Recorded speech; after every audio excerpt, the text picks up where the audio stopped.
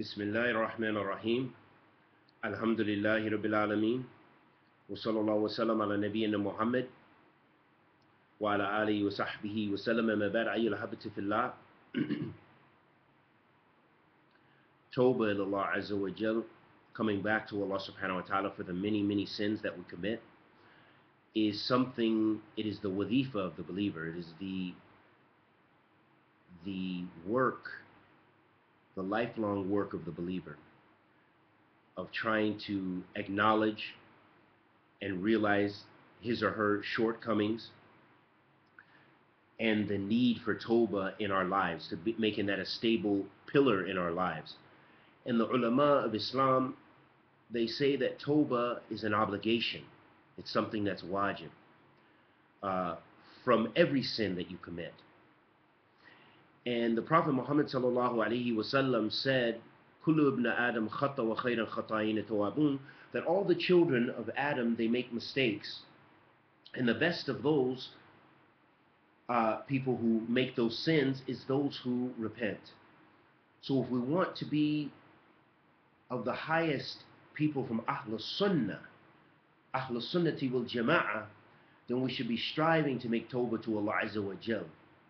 That that is a uh, something thabit in the Sunnah of the Messenger of Allah Sallallahu Alaihi Wasallam. It is something that is affirmed and a principle and qaida and rule in Islam and a rule of Ahlul Sunnati wal Jama'ah is always striving to come closer to Allah because everything we do in Islam is about coming closer to Allah Azza wa Jal.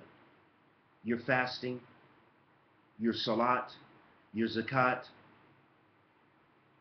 your hajj, your umrah, all of the, your, your, the, the actions that you do, your pilgrimage, your fasting, your prayer, your supplication, it's all to Allah. It is all for Allah. It is all worship of Allah Azza wa Jal. Establishing the ties of kinship. Do that for the sake of Allah subhanahu wa ta'ala and receive reward for it. Taking care of your family. Do that for the sake of Allah subhanahu wa ta'ala and receive reward for it. Trying to make sulh or rectification between your brother, Muslim brothers and sisters. This is a part of ibadah and worship of Allah subhanahu wa ta'ala. Ahabati fillah, the ulama state that tawbah has three conditions, and this is in accordance with what Imam An-Nawawi rahmatullah alayhi said. He mentioned three conditions that if that your action of repentance does it has to do with the rights of Allah subhanahu wa ta'ala and not the rights of other people, then it must contain these three conditions. He said, ahaduha, ahaduha is that the person must leave the sins. They must leave the sins that they are repenting from. So, for example, if you are struggling with alcoholism, then you must leave that alcohol. If you're struggling with meth abuse, then leaving the meth, that you must not uh, smoke crystal meth or, or take it however you take it. That you must leave that. The second condition is that you should feel sorrow for the sin that you did. So if you fell into fornication, then you should feel sorrow in your heart to Allah subhanahu wa ta'ala that you did that action. So it's not sufficient that you just you feel sorrow because anyone who has iman, if they have belief, then they feel sorrow for they and, and they for the actions that they do. When they've committed, they smoked a little weed, they feel sorrow for that. But what's going to be a part of the Toba is that they leave that smoking of the weed and they feel sorrow and they have sincerity to Allah subhanahu wa ta'ala. And this brings about the third condition is that they are determined not to return to that sin ever. And Imam Nawawi says that if they do, if one of those conditions is not met, then their toba, their repentance, is not uh, sincere and it's not uh, considered toba. It is not repentance to Allah subhanahu wa ta'ala. If you miss one of those conditions, so the person who feels sorrow for the sin that they committed, the wine that they drank, and they uh, but however they're not determined to leave it, then this person has not committed repentance to Allah subhanahu wa ta'ala. This is not true repentance. And in Islam, we repent to Allah. We don't repent to uh, the people. Although you can ask forgiveness for someone for some wrong that you did, if it relates to, and this brings up the fourth condition, if it relates to the uh, to the to the rights of other people, then you should return that right. If you stole something from someone, then return it to them. Say, please forgive me for that, along with those other conditions of Toba. You, you seek to return what you, you took from that person.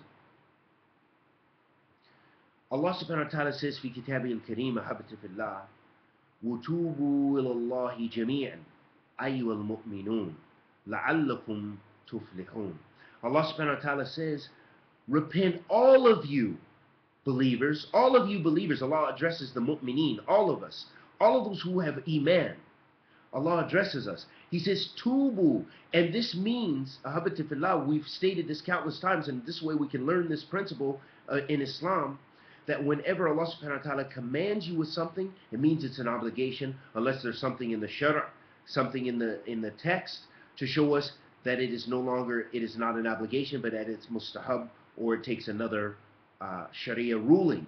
So the fact that Allah subhanahu wa ta'ala commanded us, He said, Tubu ilallah jami'an.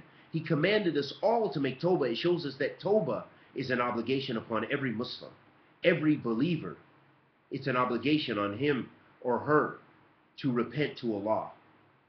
And then Allah says, لَعَلَّكُمْ تُفْلِحُونَ This is in order that you will be successful. If you want success, all of us want success. رَبَّنَا آتِنَا فِي الدُّنْيا حَسَنًا وَفِي الْآخِرَةِ حَسَنًا وَقِينَا عَذَابَ النَّارِ O Allah, give us success in uh, uh, in this life as well as the hereafter and protect us from the fire. O Allah, give us reward in this life as well as the next life and protect us from the fire. Every believer wants this. Every believer wants success in this life as well as the hereafter. Allah gives us the, the tools for success. He gives us the roadmap to success. He says, subhanahu wa ta'ala, وَتُوبُوا إِلَى اللَّهِ جَمِيعًا أَيُّهَا الْمُؤْمِنُونَ لَعَلَّكُمْ تُفْلِحُونَ That if you want to uh, have success, then repent from all of your sins. All of you, all of you believers. أَيُّ الْمُؤْمِنُونَ لَعَلَّكُمْ تُفْلِحُونَ In order that you will have success. If you want success from Allah subhanahu wa ta'ala, then make tawbah to Him. Repent. Allah subhanahu wa ta'ala says, استغفروا ربكم ثم توبوا إليه. He says, and seek forgiveness from your Lord, and then repent to Him. وقال تعالى يا أيها الذين آمنوا توبوا إلى الله توبة نصوحا Allah subhanahu wa ta'ala says, O you who believe, again addressing the believers, ahli iman, or mu'minun, repent to your Lord, repent to Allah. Sincere repentance, showing us that sincerity, ikhlas, we have to have sincerity to Allah subhanahu wa ta'ala. Meeting those conditions that Imam Nawawi said, that you have to be determined not to, to go back to that sin.